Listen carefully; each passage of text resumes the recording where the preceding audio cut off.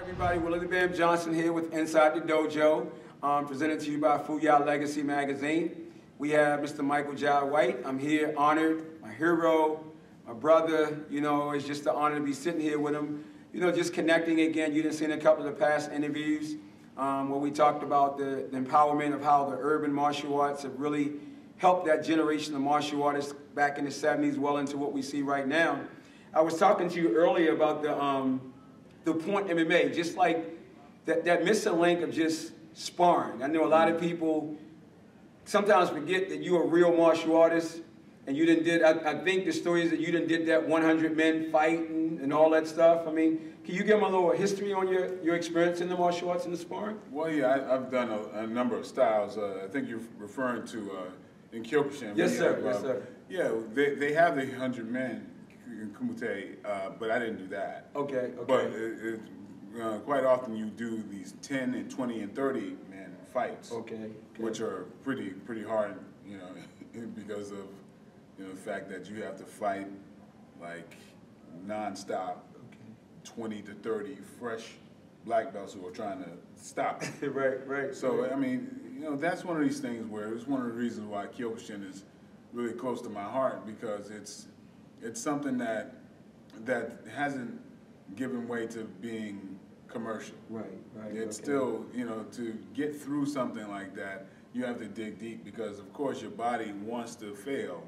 There's there's something that's going to get you past right. Uh, right. the, the uh, your comfort zone, and that's well in well past your right, comfort zone. Right. Fighting yeah. 30 men in a row. Right, right. Uh, so I mean, it's one of those things where um, that's sadly that concept is being lost in martial arts. I think martial arts should be tantamount to uh, a paramilitary operation. Very much using uh, the, the military terms, uh, there's always a hierarchy in the military that everybody, there's nobody who doesn't answer to someone. Right. You know? And there is a discipline that comes out of the traditional military that without that stringent discipline, you cannot, you could not garner these, uh, this, the kind of will and determination that's fostered from that. Mm-hmm. And so that's what we miss when we kind of go too much on the business route in martial arts. Mm-hmm. Because then, you know, some people call it watered down or whatever, but the fact is, uh, people are missing a great deal when this, the training is less than it was intended. Right, right. And, and that, that's interesting, even when you were saying about the, I think when, when we talk about you got to dig down deep, it was really that emotion. Mm-hmm. I mean, would you agree? It was like they, they challenged that emotion, and either you're going to rise up and control that fear and stand up and grow from it, or it can break you. And it seems like when you take out that sparring, that important component, be at any level, the kid never learns. And, and I'm speaking to kids because, I mean, I think mm-hmm. that's that next generation. If we don't really build them, you're going to have people that are like, like we see in the world, they're just not, they emotion, they're not even emotionally prepared to deal with someone yelling and screaming at them. Oh, yeah. I mean, you know, it's, it's, we are softening uh, the society in a, in a big way. Uh, it's coming from the school systems, uh, where, you know, you know, kids, we grew up in the hood, yeah, and yeah. one thing in the hood, you you you find somebody's weak point, right? And um, these kids find the teacher's weak points, and they they they just kind of, uh, you know, they just hold that against them. You know, you you um, you learn how to play people. Yeah, you yeah, got, yeah, you, yeah, you got, yeah. You got to survive on that in the street.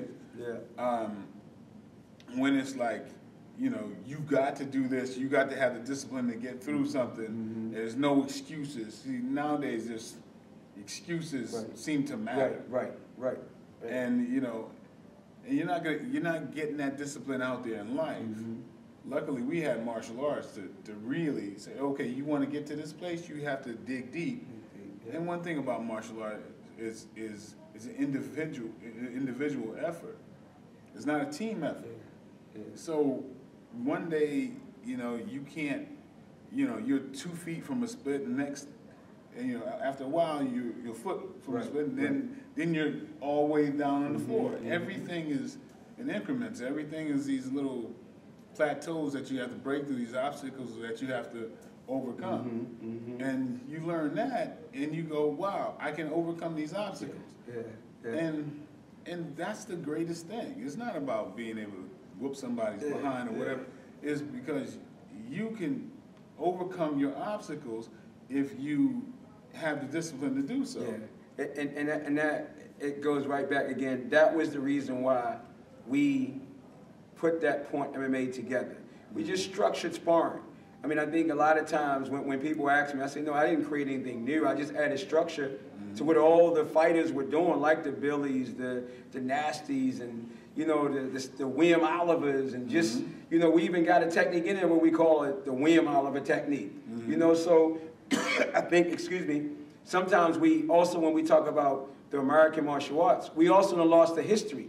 We don't remember who were the pioneers, like a, you know, Thomas LaPuppet, the first black guy to be in the Black Belt Hall of Fame. I mean, some kind of way we got to keep those those um, memories connected. I think to the American art, because without that, I think we get lost. So for me, putting Point MMA together, I look at my little kid, the, the youngest one, he ain't gonna never grow up in no hood, because we as, as, a, as a parent, we make their lives better. We don't, I, I want you to go through the struggle, but I ain't gonna take you back to the hood. You know what I'm saying? I, I, done- I done broke away from that, you know? And even the older one, he might throw a joke like, yeah, you know, I came up in, the, yeah, you got rescued from the hood. I'm gonna let that go, but you mm. ain't really come from the hood like we mm. came from. But still that emotion of, you know, your parents say, look, he want to fight, y'all fight. Mm. You, they on the porch while we out there fighting. And you know, eventually, eventually, when two warriors go into battle, once you get tired, ain't nobody doing no more blows, we mm-hmm. hugging each other, and before you know, it, man, let's go get a frozen cup. Mm-hmm. Y'all become the best of friends because of that, that internal battle. And that's what we wanted to do with Point MMA. I don't want to, I don't think, I think I was saying before, I don't think I should be, I don't want my baby learning no elbows to no face right now. Mm-hmm. Because if he don't have the emotional control when a kid mess with him in school, what are you going to do? An elbow to the face. But if I can teach them how to, like you were saying, deal with that sort of emotional pressure of a sharp kick coming, because I would rather lose than to be embarrassed in a fight. And I always ask kids, I say, look, you got two things. We can fight, guy can bust your lip and you can walk away with honor, or a guy can just make you look like a, a clown. Pop, pop, pop. Which one hurts the most? Look, be, being made to look like a fool.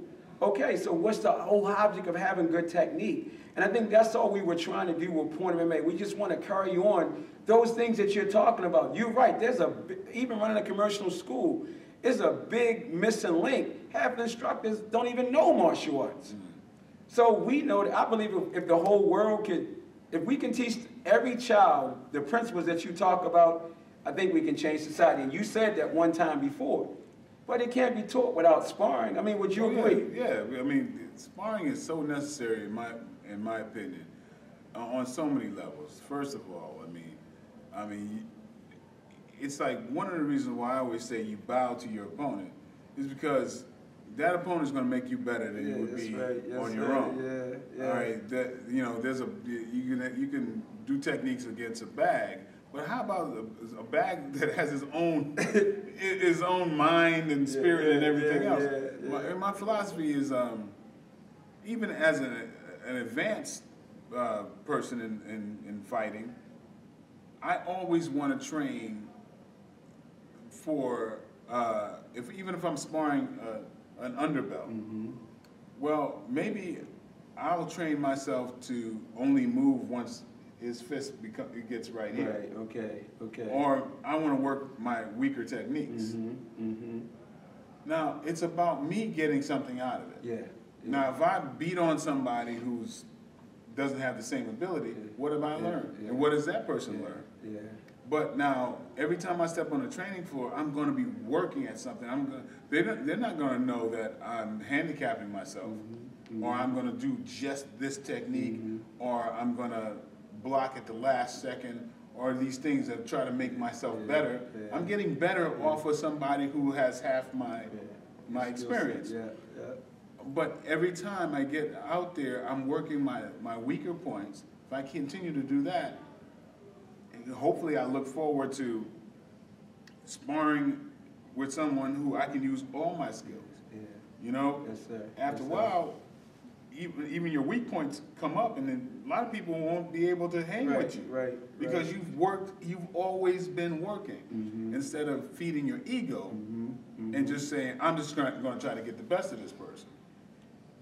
I'm I'm mentioning this as there's a whole lot of worlds in sparring where you can get better. Yeah. That's what I'm saying. Yes, how. Yes. I can even get better Yes. with somebody who is a beginner.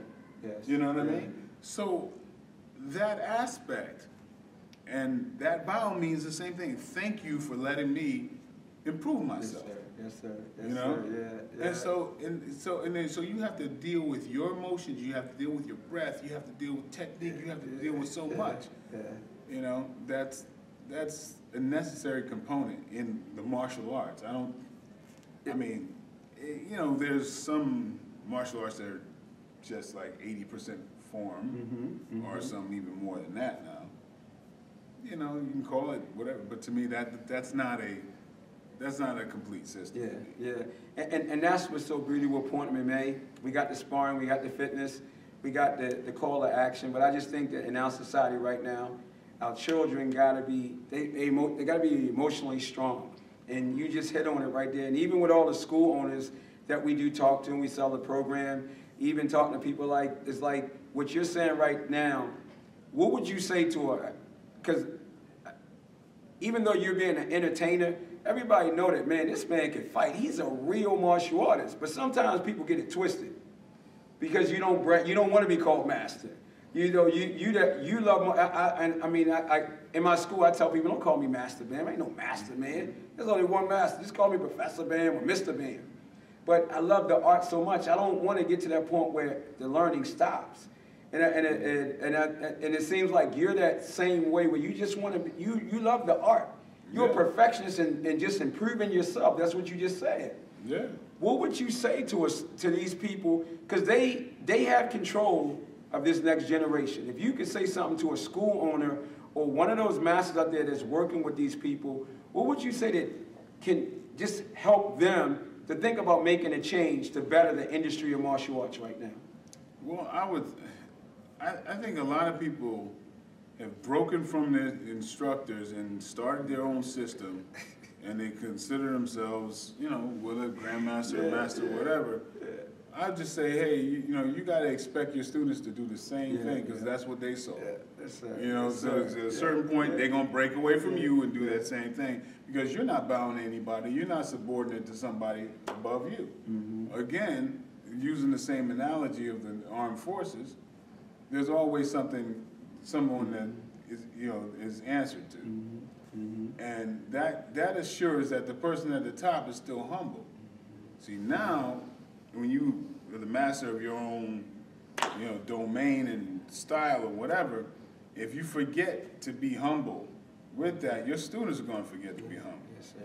Yes, sir. You know, so that's the thing is like, I don't, I just say, ah, don't get caught up in the whole master thing. Yeah. That drives me up a wall, yeah, personally. yeah, yes, sir, Because yeah. it's like, when you just go down, the- historically, it's like, okay, uh, the root of this martial art or that martial art is Chinese, Japanese, Korean. Where the hell did the word master come Yeah, from? yeah.